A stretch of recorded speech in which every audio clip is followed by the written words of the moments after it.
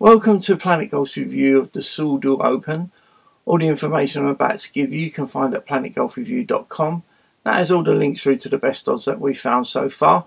And don't forget to subscribe, that way you'll get a notification when new videos go live. So, our tips to win this week Yannick Paul 20 to 1, Adrian Otaegui 20 to 1, and Jorge Campillo 22 to 1, all with LiveScore Bet. Yannick's had back-to-back run-up finishes this year, followed by a six-place finish, and he had a runner-up finish in this event last year. Adrian, three starts in this event, had a win in the inaugural knockout event, followed that up with a top 26 finish, and had a top 15 finish in the stroke play event last year.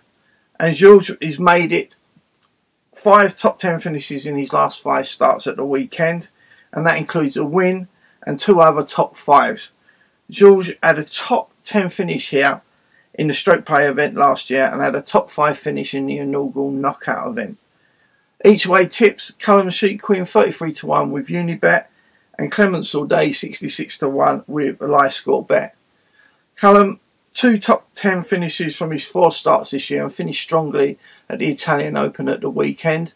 And Clement's had two top 10 finishes in his last two starts and I had a runner up earlier in the year at the South African Open Championship. The outside tip Alex Fitzpatrick 100 to 1 with Unibet. He's had three starts and two top 25 finishes, including a top 10 on his combination of European Tour and Challenge Tour events this year. He also had a top 20 finish with his brother at the Zurich Classic a couple of weeks ago. And the longer odds, Simon Forsström, he's 140 to 1 with VBet, and he's had three top 10s so far this season. As always, there's only one real winner, and that's the bookies. So just bet for fun, but have a great weekend. Good luck. Bye for now.